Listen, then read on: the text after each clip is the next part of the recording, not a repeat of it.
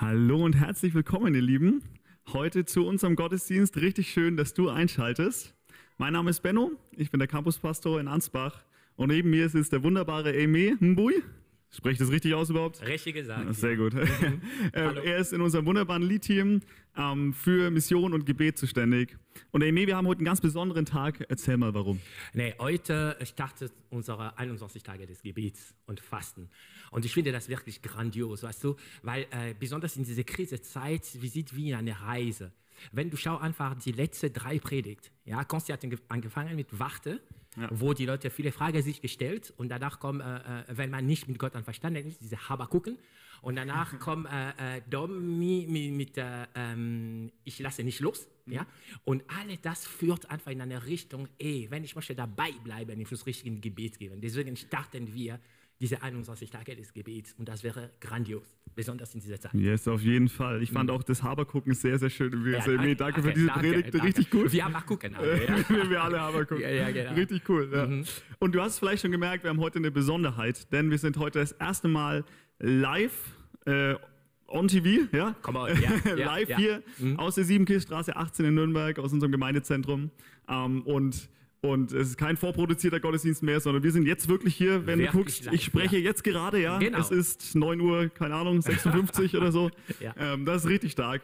Und ich möchte dich auf eine Sache besonders aufmerksam machen, auf die wir gerade zugehen, und das ist unser neues Kleingruppensemester. Mm, ja, Ende stimmt. September startet wieder das Kleingruppensemester und ich will es dir so ans Herz legen, selber in eine Kleingruppe zu gehen oder sogar eine Kleingruppe zu leiten. Wir haben mhm. demnächst auch Kleingruppenleitertrainings. Alle Infos bekommst du dazu noch.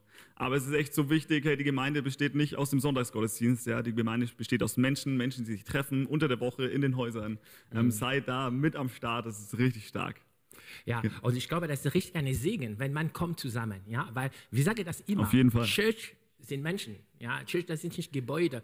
Und, ähm, und besonders in dieser Phase von Gebet, 21 Tage, äh, äh, man kann sich zwei, drei treffen und zusammen beten, weil das, das, das, ist powerful. Ja? Ich, ich rede richtig von meiner Erfahrung. Ja? Das ist richtig, mit anderen zu beten, das ist immer mega Hammer.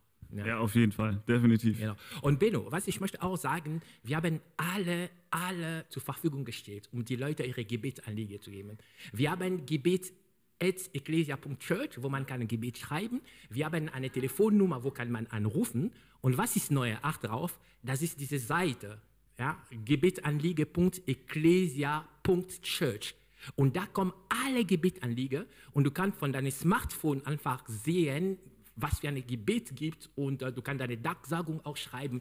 Äh, ich sage richtig, ähm, unsere Dream Teams macht eine, eine große Arbeit Auf für dich. Fall. Für dich. Wir möchten dir richtig die Sache einfach machen. Ja. Richtig cool. Das mit der mhm. Seite finde ich auch richtig Hammer, mhm. dass wir trotzdem ja. die Möglichkeit haben, Gebetsanliegen auszutauschen. Nutzt mhm. das gerne. Mhm. Und ähm, erzähl mal, was, was gibt es heute sonst noch so Besonderes? Wie, worum geht es heute?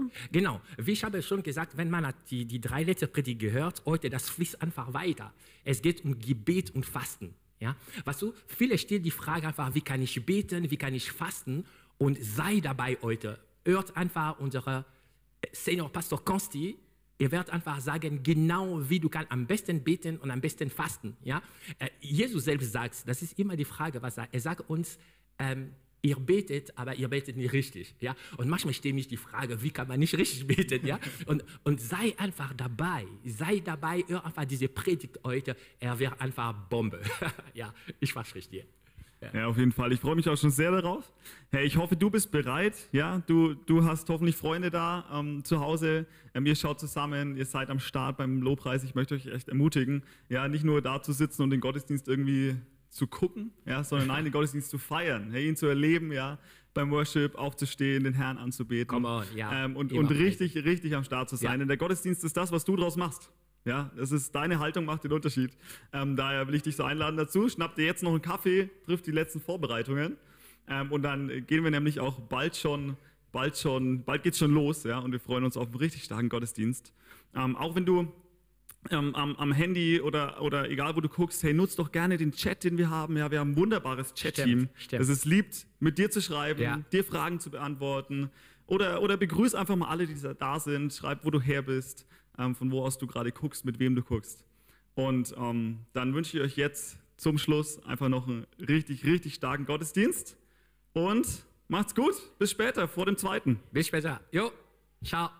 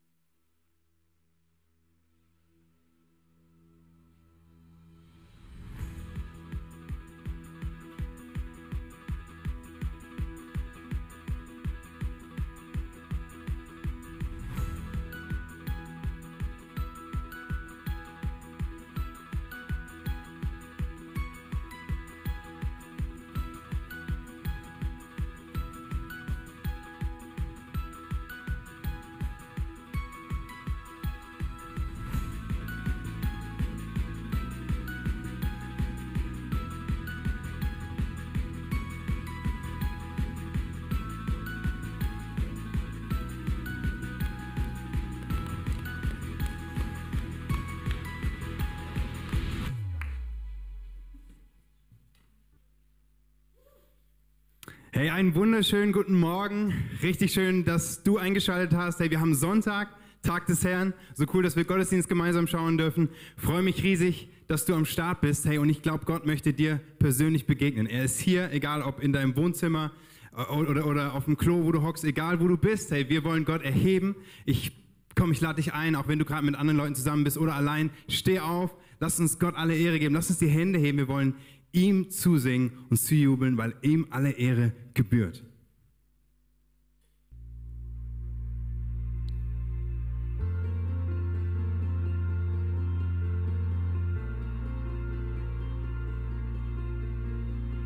Hör diesen Klang, wie schön er ist, diesen Klang, wenn der Retter kommt, wo die Menschen zu ihm fliehen, auf sein Gewand und er hört Glauben, wenn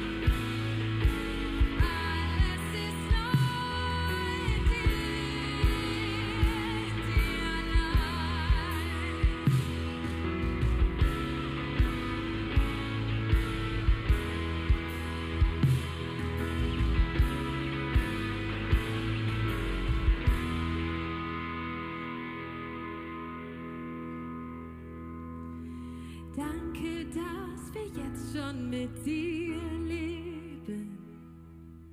Jesus, du bist König auf dem Thron. Danke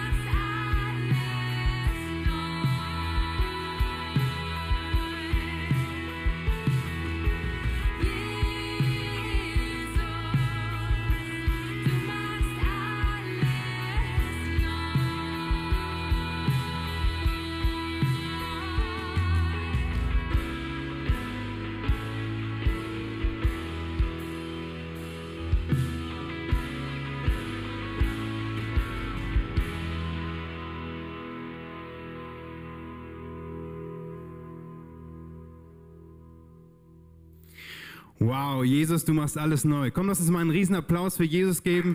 Überall, wo wir sind. Alle Ehre unserem Gott.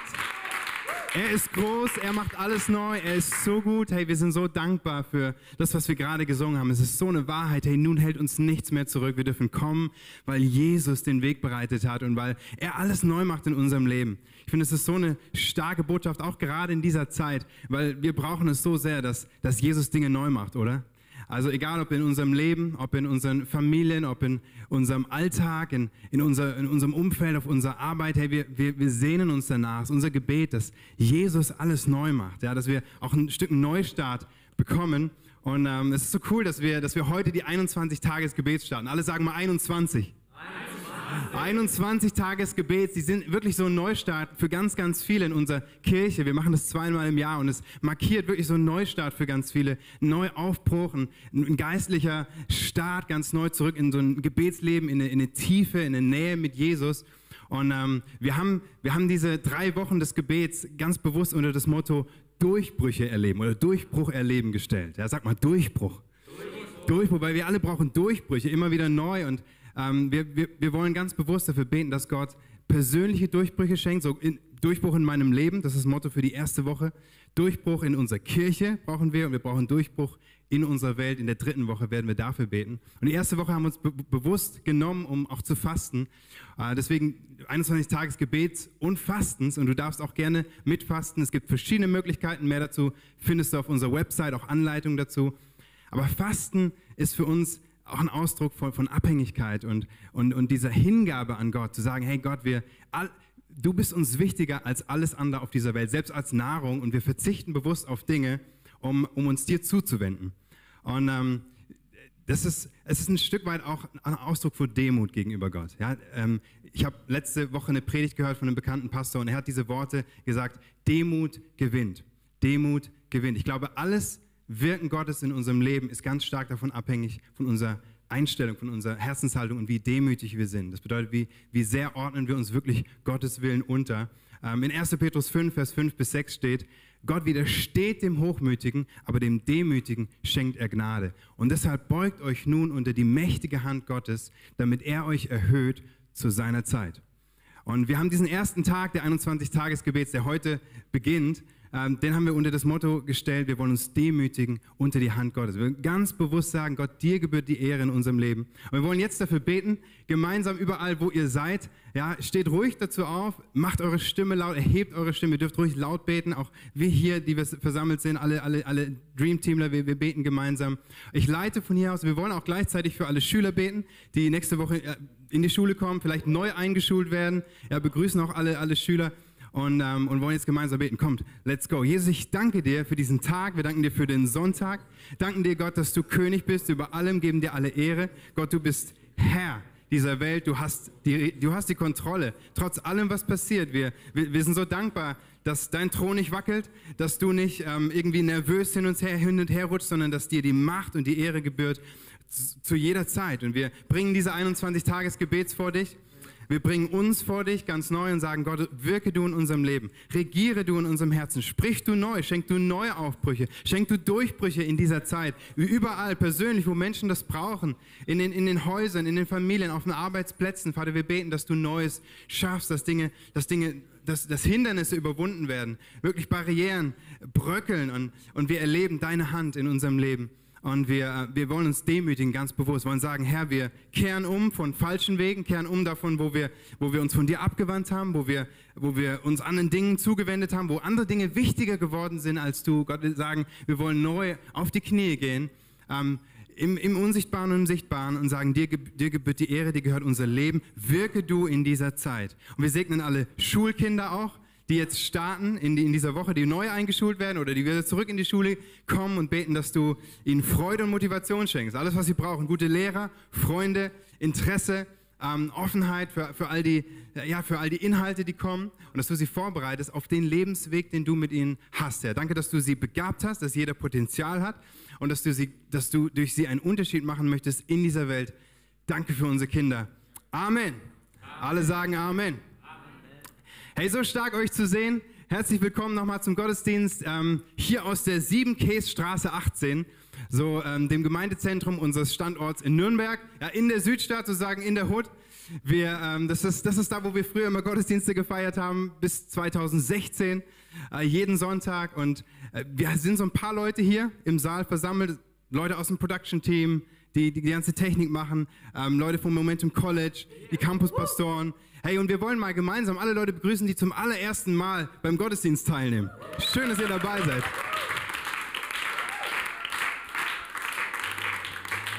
Hey, richtig stark, wenn du eingeschaltet hast zum ersten Mal bei uns im Gottesdienst oder ähm, ja, wir, wir, wir, freuen uns riesig. Und ich möchte dich ermutigen, dass du die Kontaktkarte ausfüllst von uns, die digitale Kontaktkarte. Du kannst einfach auf, dem, auf den äh, Button klicken auf der Website live.ecclesia.church und und wir würden uns gerne bei dir melden unter der Woche und dich näher kennenlernen und dir zeigen, wer wir als Kirche sind, vielleicht auch dir Schritte aufzeigen, wie du in eine persönliche Beziehung mit Gott kommen kannst. Schön, dass du am Start bist.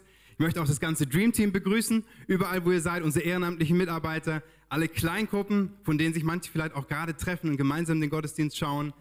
Hey, und ähm, ich freue mich auch riesig, dass unser Pastor Konsti heute im Haus ist und zu uns sprechen wird. Ja, zurück aus dem Urlaub und ähm, es ist, er hat echt eine richtig gute Message für uns vorbereitet. Gott, hat, Gott wird ihn gebrauchen. Von daher lasst uns echt äh, freuen. Wir wollen auch echt einen interaktiven Gottesdienst haben. Hey, du kannst gerne beim Live-Chat teilnehmen. Du kannst gerne einfach, einfach Dinge reintippen, den Leuten äh, digital, äh, virtuell High Fives geben und, äh, und, und nutze einfach die Möglichkeit auf live.ecclesia.church oder auf, auf unserem YouTube-Kanal, wo auch der Gottesdienst läuft. Es gibt auch die Möglichkeit, Gebet in Anspruch zu nehmen. So unsere Gebetshotline ist die ganzen Gottesdienste über am Start. Auch da frag einfach im Live-Chat nach und dann melden wir uns und helfen, helfen dir. Und ähm, ansonsten freue ich mich riesig, dass in den nächsten Wochen unglaublich viel ansteht. Also wir kommen ja so aus dem Sommerloch raus und, ähm, und wir, wir, wir fahren gerade das Gemeindeleben richtig hoch. Ja, es passiert so viel. Wir werden gleich noch mehr hören in den News. Neben den 21 Tagen des Gebets, die jetzt starten heute, haben wir heute zum allerersten Mal nach einem halben Jahr wieder Taufe. Ja, alle sagen mal Taufe. Taufe. An allen Standorten. Hier, hier in Nürnberg ist es in diesem Raum in der 7 Straße 18. Ich freue mich riesig. Ihr dürft euch auch gerne noch ähm, anmelden, wenn ihr dabei sein wollt und die Täuflinge feiern wollt. Äh, auch das funktioniert über die Website taufe.ecclesia.church. Und ähm, dann haben wir unser Kleingruppensemester, was direkt nach den 21 Tagen des Gebets startet, also am 27.09. Und ich hoffe, dass, dass jeder von uns in der Church ein, in einer Kleingruppe dabei ist. Und heute ist das allererste Kleingruppenleiterseminar online. Ja, absolute Premiere, 13 Uhr, sei dabei. Und mehr Infos gibt es jetzt in den Ecclesia News.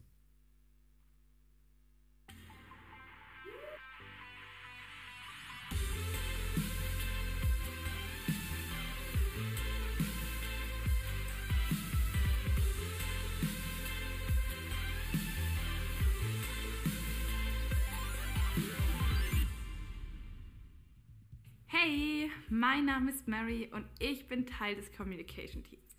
Wie mega schön, dass du mit uns zusammen Gottesdienst schaust. Ich bin total gespannt, was Gott heute tut und ich hoffe, du erlebst seine grandiose Liebe genau an dem Ort, an dem du gerade bist. Seit heute haben wir neue Gottesdienstzeiten. Wenn du gerade mit live dabei bist, dann hast du es schon mitbekommen. Ab heute feiern wir jeden Sonntag um 10 Uhr und um 11.30 Uhr Gottesdienst. Im Anschluss findest du den Gottesdienst natürlich auch zum Abrufen auf YouTube. Trotzdem wollen wir dich wirklich ermutigen, sei live sonntags mit dabei und tausch dich im Chat mit deiner Church aus. Wir haben einen Kurs, der heißt Next Steps. Bei Next Steps erfährst du an vier Sonntagen in vier Schritten mehr über uns als Gemeinde, aber auch mehr über dich selbst. Deine Begabungen und das Gold, was Gott in dich hineingelegt hat, kannst du bei Next Steps herausfinden und Möglichkeiten entdecken, wie du es einbringen kannst. Next Steps findet jeden Sonntag um 13 Uhr statt und du kannst dich unter nxs.ecclesia.church einfach reinklicken. Ganz ohne Anmeldung und auch ganz spontan. Und auch für unsere Jugend gibt es wieder klasse News.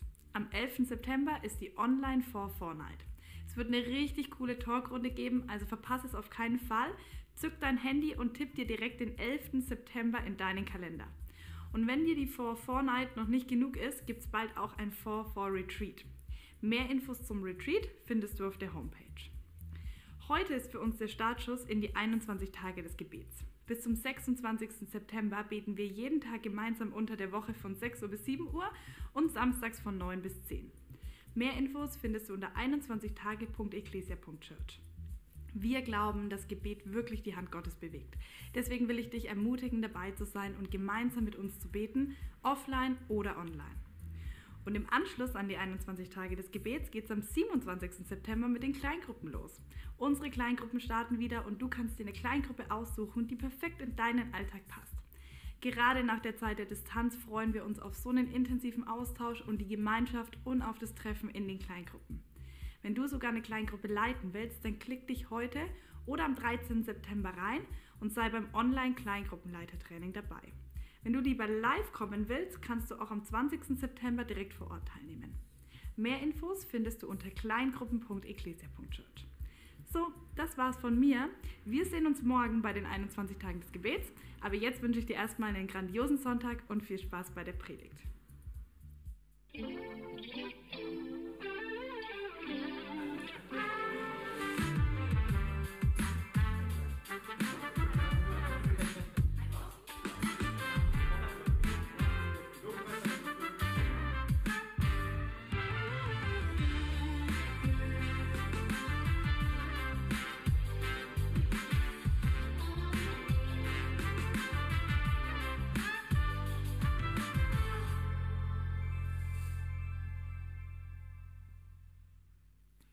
Hey Leute, Leute, Leute, ganz, ganz herzlich willkommen auch nochmal von meiner Seite aus zum Gottesdienst.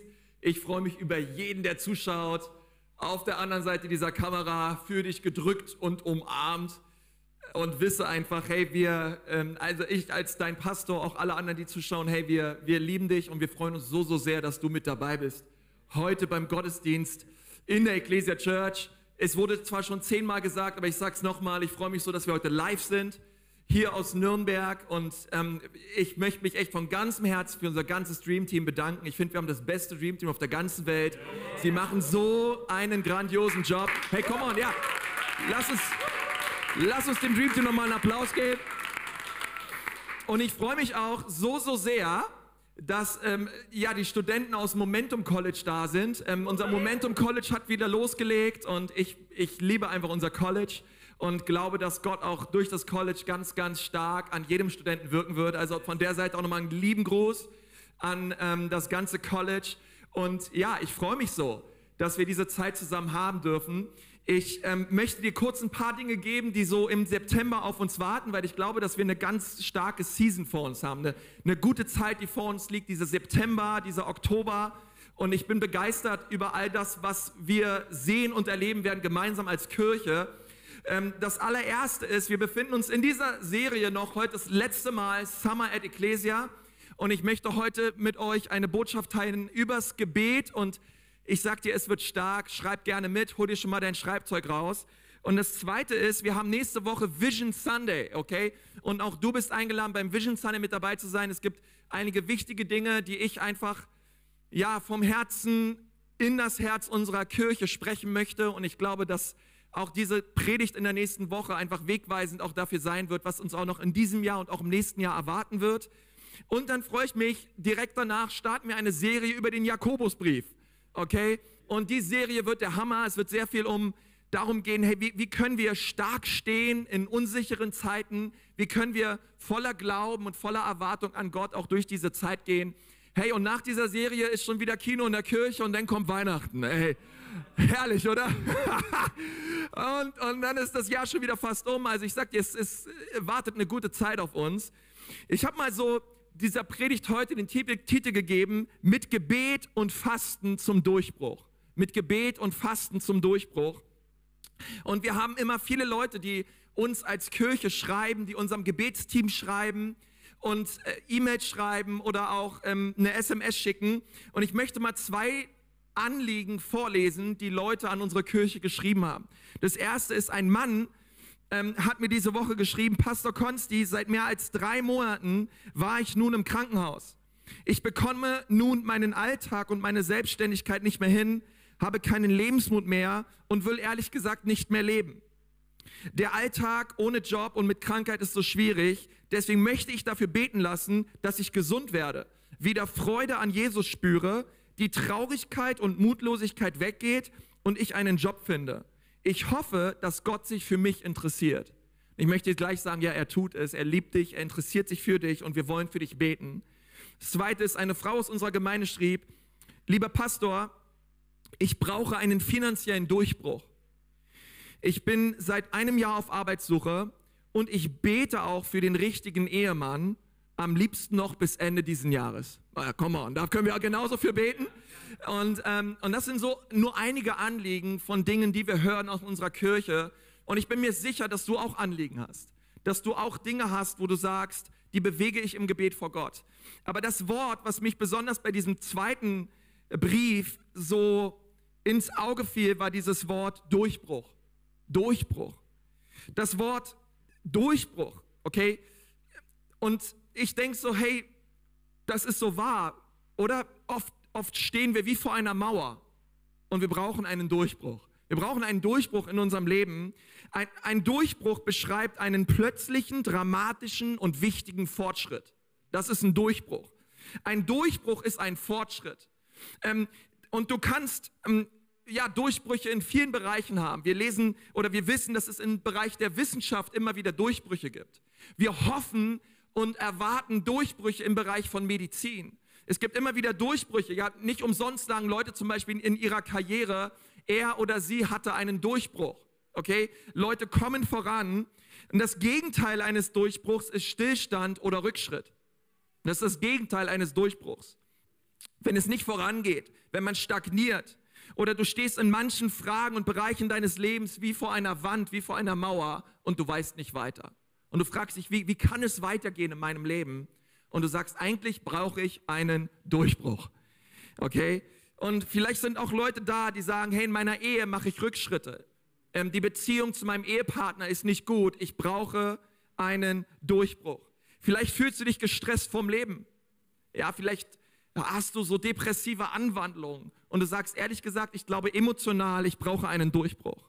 Vielleicht fühlst du dich immer in der Unterzahl und du hast das Gefühl, alles und jeder ist gegen dich. Ob du in die Schule gehst, in die Uni gehst, auf die Arbeit gehst, ob du mit deinen Verwandten zusammen bist, du hast immer das Gefühl, du bist in Unterzahl und du wünschst dir einen Durchbruch. Man kann auch im Geistlichen einen Durchbruch haben. Ja, du kannst auf einmal erleben, wie Dinge auf einmal bekommst du eine Offenbarung von Gott. Auf einmal bist du im Gebet und Gott berührt dein Herz und auf einmal bekommst du ganz viel Klarheit. Auf einmal gehen so die innerlichen geistlichen Augen auf und du sagst, wow, ich, ich habe echt einen Durchbruch erlebt in diesem oder jenem Bereich. Vielleicht bist du da und dir fehlen Ressourcen. Vielleicht brauchst du im Bereich von Finanzen einen Durchbruch. Oder es geht dir körperlich schlecht. Du hast zu kämpfen schon seit vielen Jahren mit chronischen Krankheiten. Und du sagst ehrlich gesagt, ich brauche einen Durchbruch im Bereich von Gesundheit. Oder in deiner Beziehung zu deinem Sohn, zu deiner Tochter, zu deinem Ehepartner. Du wünschst dir einen Durchbruch. Oder du brauchst einen Durchbruch zu Gott. Und du merkst, deine Beziehung zu Jesus ist nicht da, wo sie eigentlich sein sollte. Vielleicht sagst du, hey, in den letzten Monaten, besonders in diesem Jahr, es fiel mir einfach so schwer, Jesus nachzufolgen ihm täglich im Gebet zu suchen oder das Wort Gottes, die Bibel zu lesen. Und du sagst, wenn ich ehrlich bin, das ist der Bereich, da wünsche ich mir einen Durchbruch. Ich brauche einen geistlichen Durchbruch. Sag mal alle, Durchbruch. Okay? Und ich weiß nicht, welcher Bereich es ist in deinem Leben, wo du wie vor einer Mauer stehst. Aber ich möchte dir sagen, wir glauben an einen Gott, der Durchbrüche schenkt. Gott möchte auch einen Durchbruch bewirken in deinem Leben. Und ich will dir was sagen, Durchbrüche passieren nicht einfach so, sondern wir müssen uns nach ihnen ausstrecken. Durchbrüche fallen uns nicht in den Schoß, sondern Durchbrüche passieren, wenn wir im Glauben an Gott aufstehen und auch unseren Teil, unseren Part tun. Durchbrüche passieren normalerweise, wenn wir uns im Glauben nach ihnen ausstrecken. Schau mal, was der Psalmist sagt. Im Psalm 77, Vers 3 steht, als ich in großer Not war, suchte ich den Herrn. Die ganze Nacht habe ich gebetet und die Hände bittend zum Himmel gehoben. Für mich gibt es keine Freude mehr, solange Gott nicht eingreift. Und der Psalmist sagt hier, ich brauche ein Eingreifen Gottes und bis dieses, bis dieses Eingreifen Gottes kommt, werde ich Gott suchen und werde ich beten, dass er eingreift und diesen Durchbruch schenkt. Ich glaube, du wirst in diesen 21 Tagen des Gebets einen Durchbruch erleben. Ich glaube das von ganzem Herzen. Wenn du im Glauben stehst und dafür betest, wie hier im Psalm 77, Vers 3 steht, Gott wird dir einen Durchbruch schenken, denn Gott steht zu seinem Wort. Er hält sein Versprechen ganz gewiss. Wann immer in der Bibel jemand einen Durchbruch hatte, hatte es durch Gebet und Fasten erlebt. Immer. Immer. Und ich sehne mich danach, dass auch die Schlachtfelder meines Lebens, dass die Schlachtfelder deines Lebens eine Plattform werden, wo Gott sich verherrlicht. Eine Plattform des Sieges wird, wo die Schlachtfelder deines Lebens eine Plattform wird, wo du eines Tages drauf stehst und verkündigst, wie groß und wie gut Gott ist wo du im Glauben Zeugnis darüber ablegst, dass Gott immer noch ein Gott ist, der Wunder tut. Dass Gott immer noch ein Gott ist, der Durchbrüche schenkt. Er hat nicht nur Durchbrüche geschenkt in dem Leben von Mose, in dem Leben von Jehosaphat, in dem Leben von David, in dem Leben von Paulus. Nein, er tut auch Durchbrüche in meinem Leben. Du sollst das erleben von ganzem Herzen. Und ich möchte deswegen mit dir zusammen darüber reden, ganz praktisch, wie können wir Durchbrüche erleben? Weil ich glaube, wir alle brauchen Durchbrüche. Ich habe so viele Bereiche genannt. Und Gott möchte diese Durchbrüche schenken. Wir lesen in Philippa 4, Vers 6 bis 7. Schlag mal deine Bibel auf und ich möchte dir drei Gewohnheiten geben, die du und ich brauchen, damit wir Durchbrüche erleben. Und ich lese mal Philippa 4, Vers 6. Da sagt Paulus, sorgt euch um fast nichts, um nur ganz wenig Dinge. Nein, er sagt, sorgt euch um nichts, sag mal nichts. Nichts. Sondern in allem lasst durch Gebet und Flehen mit Danksagung eure Anliegen vor Gott kund werden.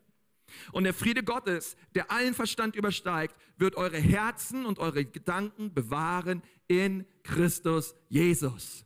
Das ist so eine bekannte Bibelstelle bei mir, in der Bibel auch. Ich habe die früh schon auswendig gelernt als ich Jesus kennengelernt habe. Aber ich dachte so, hey, was ist dieser Friede Gottes, der allen Verstand übersteigt? Was bedeutet dieser Friede? Was bedeutet es, diesen Frieden zu haben? Nun, ich glaube, dieser Friede bedeutet, ich bin innerlich voller Frieden, obwohl ich mich in einem heftigen Sturm befinde. Ich bin innerlich voller Frieden, obwohl meine Umstände eigentlich mir sagen, hey, du müsstest eigentlich ängstlich, sein.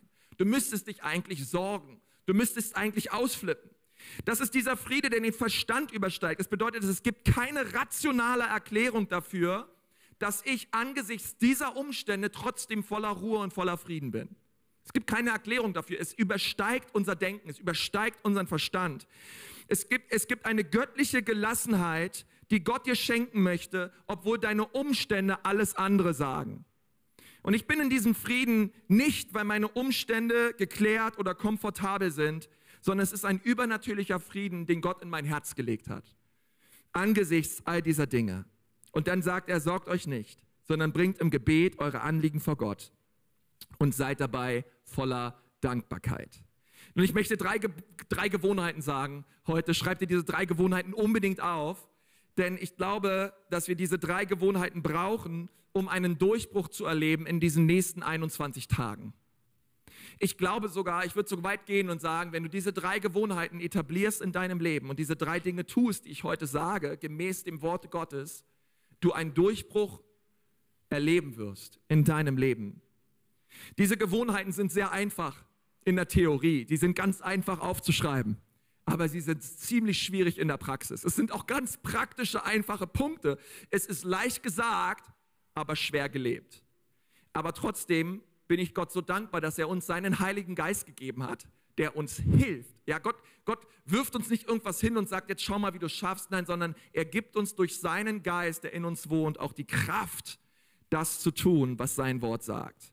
Zunächst möchte ich mit dem ersten Punkt starten. Vers 6 sagt, sorgt euch um nichts. Um nada, niente.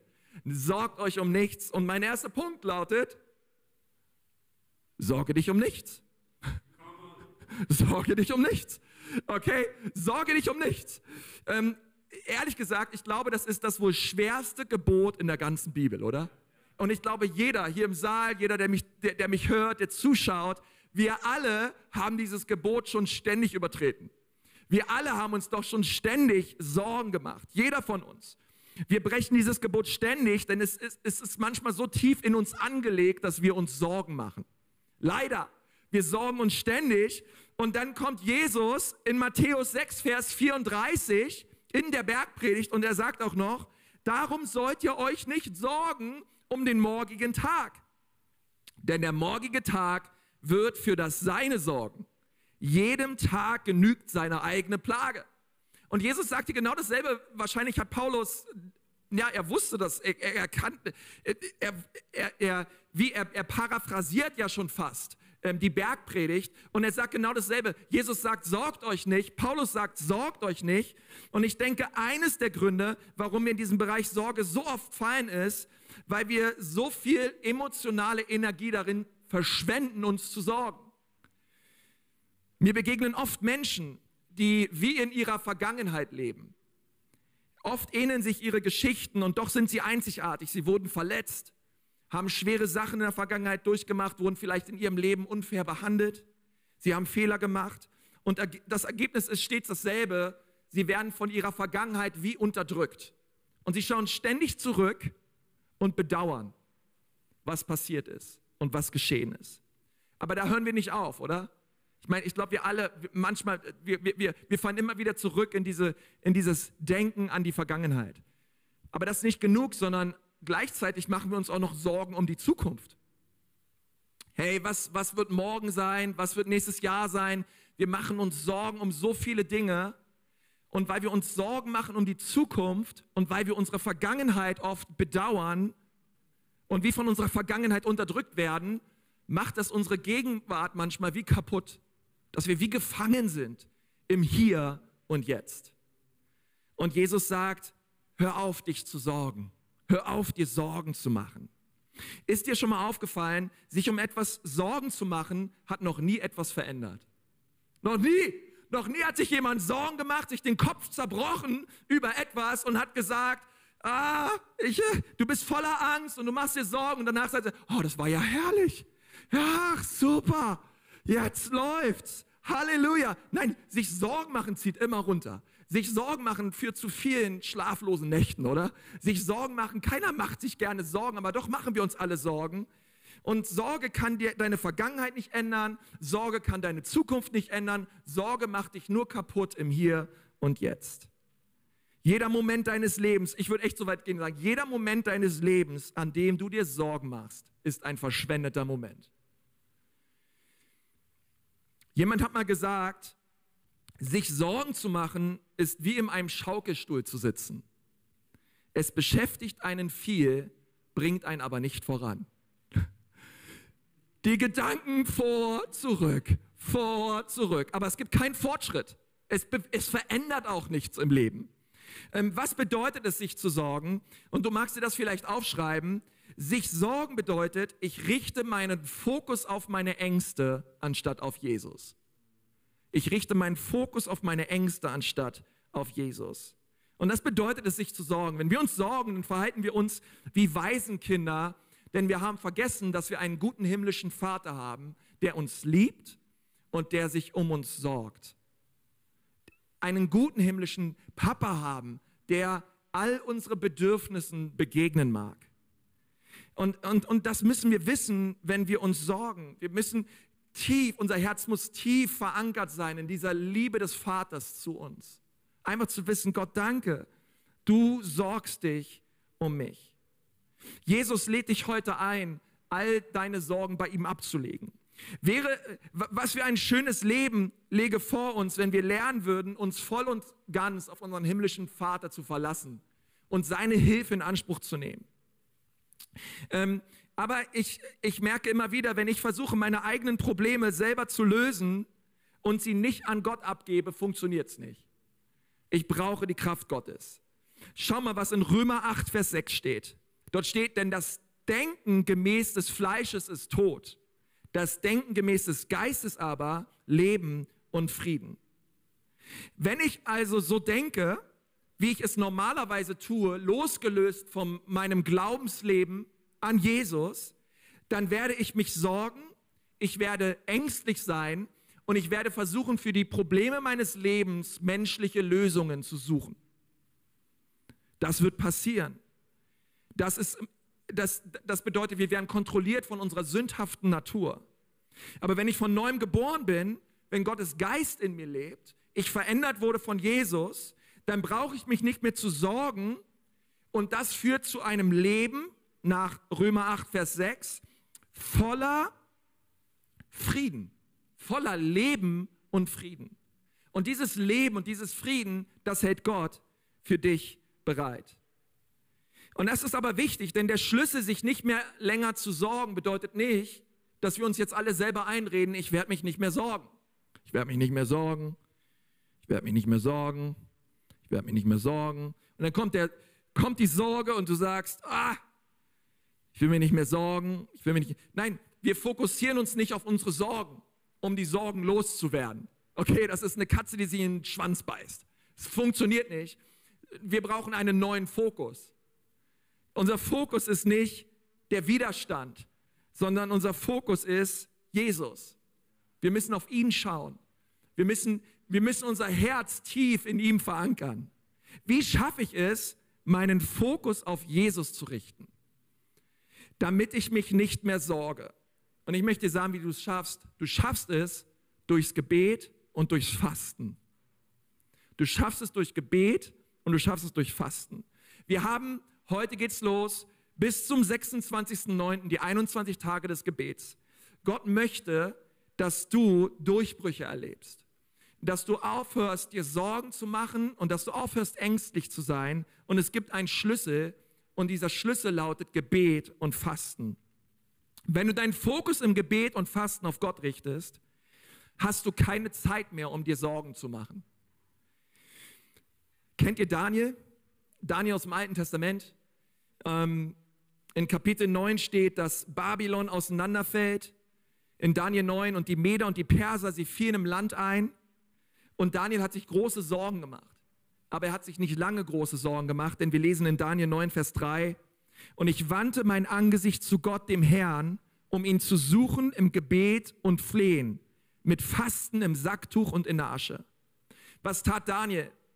Daniel wandte, die Bibel sagt, er wandte sein Angesicht zu Gott. Er, er war voller Sorge, aber die Sorge hörte auf an dem Punkt, wo er sein Angesicht auf Gott richtete und ihn suchte. Wir lesen genau dasselbe in Esra. Esra wollte nach Jerusalem gehen, aber auf dem Weg dorthin gab es viele Feinde.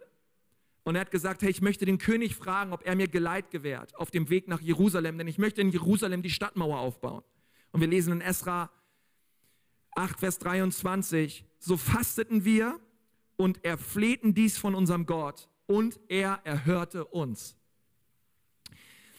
Die Männer und Frauen in der Bibel, die Durchbrüche brauchten, die sich bewusst dazu entschieden haben, sich nicht mehr zu sorgen, sie haben immer Gott gesucht, im Gebet und im Fasten und Gott brachte die Lösung.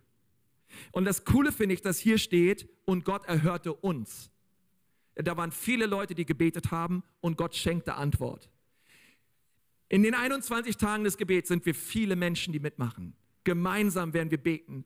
Hey, du brauchst noch nicht mal, wenn du Durchbrüche brauchst in deinem Leben, du brauchst noch nicht mal alleine dafür zu beten, sondern du kannst die Anliegen teilen. Du kannst uns mitteilen, was, wo du Durchbrüche brauchst. Herr, wir wollen in diesen 21 Tagen als ganze Church dafür einstehen, dass du Durchbrüche erlebst in deinem Leben. Du bist nicht alleine unterwegs und du musst auch nicht alleine beten, sondern wir wollen gemeinsam glauben, dass Gott genau in diesem Bereich deines Lebens einen Durchbruch schenkt. Okay, und, und es sagt, es gibt so, es liegt Kraft im gemeinsamen Gebet. Und das ist wunder, wunderbar. Also das erste ist, sorgt euch um nichts. Leicht aufgeschrieben, leicht gesagt, schwer getan. Aber der Schlüssel ist Gebet und Fasten. Das zweite ist, betet für alles. Betet für alles. Sorgt euch für nicht, für nichts und betet, betet für alles. Ähm, für alles bedeutet alles Große und alles Kleine. Alles scheinbar Unwichtige und alles Große. Wir sollen für alles beten. Wenn, wenn Menschen oder Umstände es wert sind, dass du dir darum Sorgen machst, dann sind sie erst recht es wert, dass du dafür betest. Ähm, wenn sie deiner Sorge wert sind, wie viel mehr deiner Gebete? Wie viel mehr deiner Gebete? Weil Gott einen ein Durchbruch schenken möchte. Okay, und, ähm, und du sagst ja, ja, aber kann ich für meinen Hund beten? Ja, keiner, kann ich für meine Klausur beten, für meine Hausaufgaben? Hey, na klar, die Bibel sagt, betet für alles. Ähm, na klar dürfen wir beten, für alles beten. Und ich sage besonders die Dinge, die uns auf dem Herzen liegen, ganz oft liegen sie auch auf Gottes Herzen, weil Gott möchte dir begegnen und Gott möchte dich berühren. Aber dieser zweite Teil des Verses lautet, sorgt euch um nichts, sondern im allem lasst durch Gebet und Flehen mit Danksagung eure Anliegen vor Gott kund werden. In 1. Petrus 5, Vers 7 steht, all eure Sorgen werft auf ihn, denn er ist besorgt um euch. Und hier sehen wir schon, was wir tun sollen mit unseren Sorgen. Wir sollen sie nämlich auf Jesus werfen. Es, es bedeutet, wer nicht wirft, muss selber tragen. Wer nicht wirft, muss selber tragen. Du kannst dir überlegen, deine Sorgen rumzutragen oder du kannst die Entscheidung treffen, heute in diesem Gottesdienst, ich werfe meine Sorgen auf Jesus. Okay? Es liegt an dir. Du kannst deine Sorgen behalten, du kannst dir den Stress machen. Okay? Du kannst sagen, oh nein, wie soll das werden? Oder du nimmst genau diese Sache jetzt im Gebet und du wirfst sie auf Jesus. Und du lässt sie bei Jesus. Du hebst sie nicht wieder auf. Nein, du lässt sie bei ihm. Dein Vater im Himmel sagt, lass mich doch deine Ängste und deine Sorgen tragen, denn ich sorge für dich, denn ich liebe dich und ich wertschätze dich. Anstatt zu sorgen, beten wir. Nun die Frage ist, wie beten wir? Für was können wir beten? Vielleicht sitzt du da und sagst, Herr Pastor, aber wie, wie soll ich beten? Ich weiß gar nicht, wie kann ich beten? Oder du merkst, dass du dir eine Zeit nimmst im, im Gebet und du guckst nach eineinhalb Minuten schon auf die Uhr und sagst, ja, das, das, reicht jetzt für heute oder ich weiß gar nicht mehr, für was ich beten soll, denn ähm, für was soll ich und für was kann ich beten? Nun, ich liebe es immer, wenn Predigten sehr praktisch sind. Ich liebe es, wenn wir das Wort Gottes nehmen und ganz relevant auch umsetzen können in unseren Alltag. Und ich möchte dir mal anhand der Hand, also wenn wir die Hände falten, ja, vielleicht kennst du dieses Bild von Dürer, ja, diese gefalteten Hände. Ich möchte dir mal fünf Dinge sagen, ähm, äh, zunächst für wen du beten kannst. Wir lesen im Psalm 88, Vers 10, Herr, ich rufe zu dir täglich, ich breite meine Hände aus zu dir. Nun, ich möchte dir, ich möchte dir anhand deiner Hand fünf Menschengruppen sagen, für die du beten kannst. In diesen 21 Tagen des Gebets. Okay, bist du bereit? Das wird powerful. Schreib es dir unbedingt auf. Das erste ist dein Daumen. Dein Daumen, wenn du deine Hände faltest, deine Daumen sind am dichtesten an deinem Herzen dran. Wenn du an deinen Daumen denkst und beim Beten und deinen Daumen siehst, dann denkst du an deine Lieben. Du denkst an deine Familie, du denkst an deinen Ehepartner, du denkst an deine engen Freunde und du betest für sie. Dein Zeigefinger, der Zeigefinger ist der Finger, der die Richtung vorgibt, oder? Du betest für deine Leiter. Du betest für Menschen in Autorität. Du betest für Politiker. Du betest für deinen Chef. Du betest für Menschen, die den Weg angeben und richtungsweisend sind in deinem Leben. Du betest für deinen Pastor. Du betest für, für Angela Merkel und das Kabinett. Ich weiß nicht für wen alles, aber du betest für deine Leiter. Also bei Daumen bedeutet, du betest für deine Lieben. Der Zeigefinger bedeutet, du betest für deine Leiter. Und der Stinkefinger, ich lasse mal die beiden anderen Finger oben, ähm, der, der, der Mittelfinger ist der Stinkefinger, ja, der Effenberg. Und, äh, und du ähm, äh, betest bei dem, bei, dem, bei dem Mittelfinger, äh, betest du für deine Schleifsteine. Okay? Weil vielleicht, vielleicht sagst du, ehrlich gesagt, der Mittelfinger hat, hat, keinen guten Ruf, besonders wenn er alleine gezeigt wird, aber äh, du betest gerade für die Leute in deinem Leben, die dir auf den Zeiger gehen. Kennst du so jemanden? Ja, so Leute, mit denen du nicht so richtig gut klarkommst, weiß ich nicht, vielleicht dein Nachbar, vielleicht betest du hier schon das zweite Mal für deinen Chef oder ähm, du betest für deine, deine Schwiegermutter oder so, keine Ahnung, aber du betest für deine Schleifsteine. Der Ringfinger, der Ringfinger, der Ringfinger ist an der Hand der schwächste Finger. Das ist der schwächste Finger, ist nicht der kleine Finger. Der Ringfinger ist stärker als der kleine Finger. Der Ringfinger ist der Finger, wo du für die Menschen betest, die Hilfe brauchen. Du betest für Menschen, die schwach sind. Du betest für Kranke. Du betest für Arme. Du betest für Benachteiligte. Du betest für verfolgte Christen. Du betest für Menschen, die vielleicht unterdrückt werden. Das ist der Ringfinger. Und dann hast du noch den Kleinfinger. Und der kleine Finger bedeutet, du betest für dein Leben, mein Leben. Ganz zum Schluss beten wir für uns. Ganz zum Schluss bringen wir unsere Anliegen ähm, vor Gott. Ja, wir fangen nicht selbstsüchtig an mit unseren Anliegen, sondern wir beten ganz zum Schluss für uns. Also der Daumen ist, ich bete für meine Lieben, der Zeigefinger ist, ich bete für meine Leiter, der Mittelfinger ist, ich bete für meine Schleifsteine, der Ringfinger ist, ich bete für Menschen, die Hilfe brauchen und der kleine Finger ist, ich bete für mich. Und jetzt die Frage, was bete ich? Okay, was bete ich jetzt für diese Personengruppen? Okay, und ich möchte dir drei Dinge geben, was du beten kannst. Das allererste ist, du betest für ihr Herz. Du betest für ihr Herz. Wir lesen in Sprüche 4, Vers 23, mehr als alles andere aber be behüte dein Herz, denn von ihm geht das Leben aus. Wir haben eine äh, Missionarin in Äthiopien, die heißt Mareike, die ist der Hammer. Und ich habe letztens mit ihr telefoniert und, ähm, und es tut so gut, von ihr zu hören, wie es ihr geht. Aber ich möchte dir mal an, anhand von Mareike sagen, ähm, wie ich für sie beten kann. Ich bete für ihr Herz. Ich bete Gott, bitte berühre das Herz von Mareike. Vater, ich bete, dass ihr Herz voll ist mit Liebe zu dir. Vater, ich bete, dass deine Kraft und deine Freude tief in ihrem Herzen ist. Vater, ich bete, dass du ihr Herz weich machst und weit machst für dich und für andere Menschen. Vater, ich bete, dass du sie segnest mit Demut, und dass du ihr Herz erfüllst mit Liebe für das Land Äthiopien und für die Menschen, mit denen sie zusammenarbeitet. Okay? Also du kannst einfach fürs Herz beten. Das zweite ist, du betest um Weisheit. Kolosser 1, Vers 9 steht, deshalb hören wir auch seit dem Tag, da wir es vernommen haben, nicht auf, für euch zu beten und zu bitten, dass ihr erfüllt werdet mit der Erkenntnis seines Willens in aller geistlichen Weisheit und Einsicht. Hey Gott, ich bete für Mareike, dass du ihr Weisheit schenkst, die richtigen Entscheidungen zu treffen. Gott, dass sie sich in dem Zentrum deines Willens befindet. Und Gott, dass die richtigen Türen aufgehen und die falschen Türen zugehen. Gott, dass du sie lenkst und leitest durch deinen Geist. Okay, und du betest für diese Menschen, du betest für Herz, für ihr Herz und du betest für Weisheit. Und das dritte ist, du betest für Versorgung. Du betest für Versorgung. 2. Korinther 9, Vers 8. Gott aber ist mächtig, euch jede Gnade im Überfluss zu spenden, sodass ihr in allem, alle Zeit, alle Genüge habt und überreich seid zu jedem guten Werk.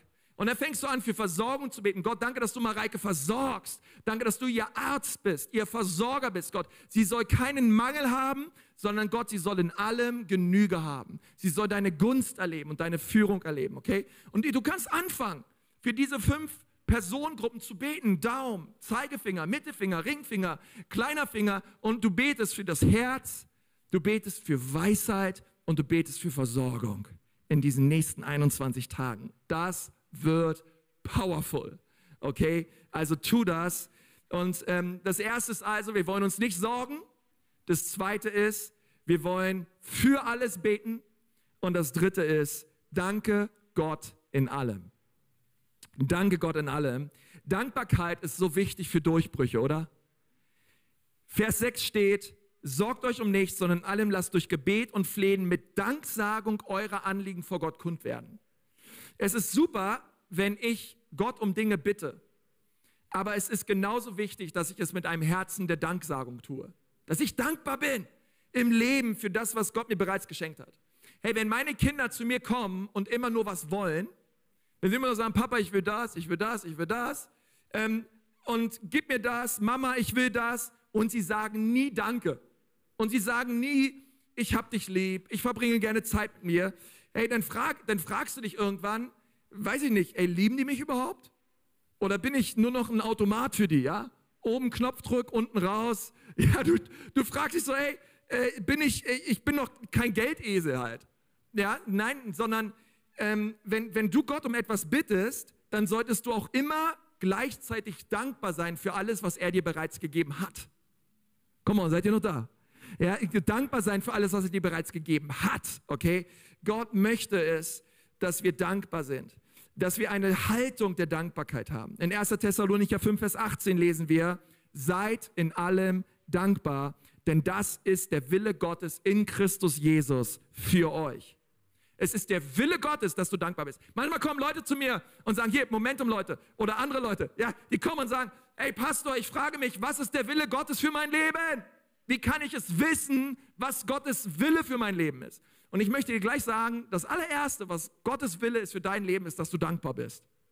Bevor wir darüber reden, wo du hingehen sollst und was passieren soll, geh erstmal den ersten Schritt. Der erste Schritt bedeutet, Gottes Wille für dein Leben ist Dankbarkeit. Sei dankbar.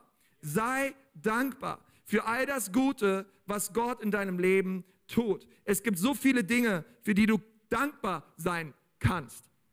Und weißt du was? Die Bibel sagt, wir sollen in allem dankbar sein. Nicht für alles. In allem. Das ist ein großer Unterschied. Du sollst nicht für alles dankbar sein. Es gibt so viele Dinge, für die will ich nicht dankbar, für die bin ich auch nicht dankbar. Ich bin nicht dankbar für Krankheiten. Ich bin nicht dankbar für Bosheiten. Ich bin nicht dankbar für Rassismus. Okay, es gibt so viele Dinge, dafür sollen wir nicht dankbar sein. Aber wir sollen dankbar sein in allem. Und da kommen wir zurück zu dem, was wir am Anfang hatten. Trotz der Umstände bin ich dankbar für das, was Gott bereits in meinem Leben getan hat, für das, wer er ist und was er mir verheißen hat in seinem Wort. Gott kann aus vielen so viel Gutes machen in deinem Leben. Und ähm, der Psalmist sagt im Psalm 116, Vers 17, dir will ich Dankopfer bringen und den Namen des Herrn möchte ich anrufen. Und ich möchte dir zum Schluss dieser Predigt noch zwei Dinge sagen, wie du dankbar sein kannst. Das erste ist, schreib dir eine Dankesliste. Schreib dir 50 Dinge auf, für die du dankbar bist. 50 Dinge. Und es macht was mit dir, wenn du es wirklich aufschreibst. Ich setze mich morgen hin, ich verspreche es dir, ich setze mich morgen hin und ich schreibe mir 50 Dinge auf, für die ich dankbar bin. Schreib sie dir auf. Wofür bist du dankbar? Und achte mal darauf, was das mit deinem Herzen tut. Okay, komm mal, ganz Ecclesia-Shirt, 50 Dinge, für die du dankbar bist. Und das zweite ist, ich drücke Dankbarkeit auch durchs Geben aus. Wenn ich dankbar bin, dann gebe ich. Und ähm, ich bin so dankbar für die Ecclesia Church, bin so dankbar für jeden, der gibt. Und, und, aber wenn du sagst, hey, die, die Kirche ist ein Segen und das, was ich in der Ecclesia Church erlebe, ist ein Segen für mein Leben, hey, lass uns geben.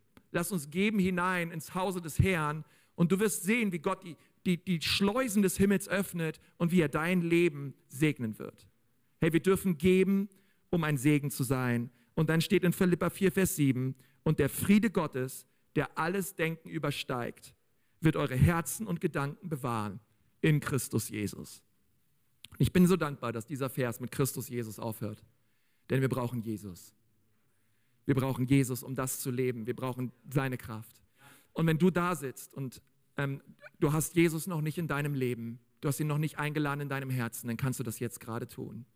Einfach dort, wo du sitzt, vielleicht magst du kurz mal die Augen schließen. Und ich möchte gerne mit dir zusammen beten. Ich möchte gerne, ja, mit dir zusammen beten, dass Jesus in dein Leben kommt. Du kannst Jesus einladen, dort, wo du bist. Er liebt dich. Er ist am Kreuz für dich gestorben. Und er möchte dir neues Leben schenken. Wenn du sagst, ja, Pastor, das will ich. Ich brauche Jesus. Ja, dann einfach dort, wo du bist. Du kannst deine Augen aufmachen, zulassen. Du kannst deine Hände heben. Du kannst sie falten, wie du möchtest. Aber gerade dort, wo du bist, bete einfach mal nach. Bete mal, lieber Herr Jesus, bitte komm in mein Leben. Bitte rühre du mein Herz an. Danke, dass du am Kreuz für mich gestorben bist und dass du mir ewiges Leben schenkst. Jesus, ich brauche dich. Bitte sei du mein Herr und mein Retter. Amen, Amen, Amen. Hey, das ist so stark. Hey, komm, lass uns mal hier auch alle, lass uns mal wirklich, ich, ich glaube von ganzem Herzen, dass Leute da waren und das nachgebetet haben. Lass uns mal all diesen Leuten mal einen riesen, riesen, riesen Applaus geben. Come on.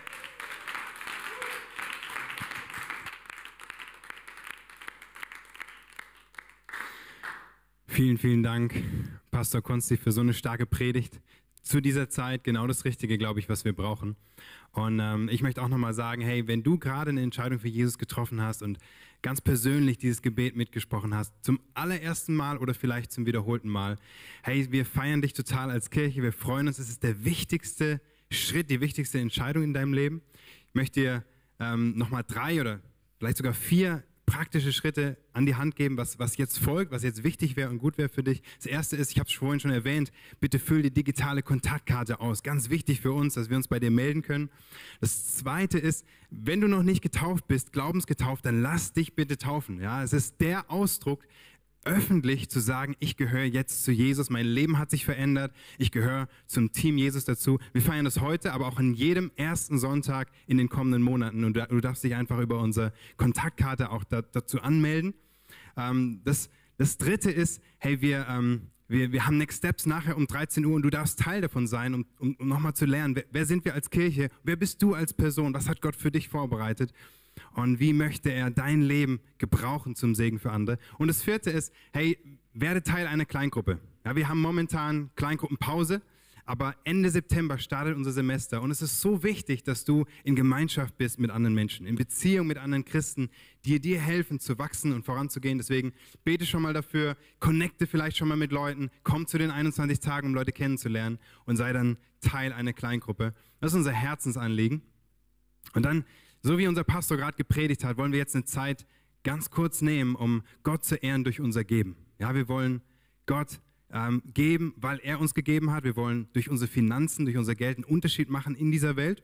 Und auch als Zeichen dafür, dass die Ecclesia Church unser geistliches Zuhause ist. Dass wir hier verankert sind, dass wir hier geistlich versorgt werden. Und, ähm, und, und, und, und geben ist einfach eine Riesenmöglichkeit, auch dass Gott die Ecclesia Church weiterhin gebraucht, um einen Unterschied zu machen in unseren Städten Erlangen, Ansbach, Nürnberg. Wir glauben, dass Gott noch so viel vorhat und sind dankbar für, für, für alles, was du jetzt gibst, was ihr gebt. Ihr darfst einfach selber gucken, was für dich am besten passt, unter dem Geben-Button auf, auf der Website. Und ähm, es ist alles freiwillig. Jeder, keiner muss, aber jeder darf geben. Und dann bleibt mir nur noch zu sagen, hey, wir, ähm, wir, wir haben ein Newsletter. Ich bitte dich, abonniere unseren Newsletter per E-Mail. Äh, äh, da, da stehen wirklich die wichtigsten Sachen drin und es passiert gerade so viel, wie ihr schon gehört habt. Deswegen bleibt up to date. Auf news.ecclesia.church könnt ihr den abonnieren. Äh, auch gerne folgt uns auf, auf YouTube, auf Facebook, auf Instagram und bleibt einfach dran und, und seid wirklich Teil von dem, was, was Gott tut und wo, wo er auch euch segnen möchte in eurem Leben. Und dann nochmal ganz kurz die Erinnerung, wir, ähm, wir fangen morgen 21 Tage vor Ort an, an allen Standorten, immer um 6 Uhr morgens. Bitte melde dich an. Du kannst auch gerne nochmal zur Taufe kommen, nachher um 13 Uhr, äh 15 Uhr, sorry, an allen Standorten 15 Uhr. Auch dafür kannst du dich anmelden. Und das dritte, hey, äh, wir haben Kleingruppenleitertraining um 13 Uhr online. Also ganz, ganz in aller Kürze und dann ähm, freuen wir uns, dich dabei zu haben. Auch dafür guck einfach auf der Website kleingruppen.info nach. Und ansonsten, hey, habt einen richtig guten Start in die 21 Tage, in die Woche. Gott segne euch. Ciao.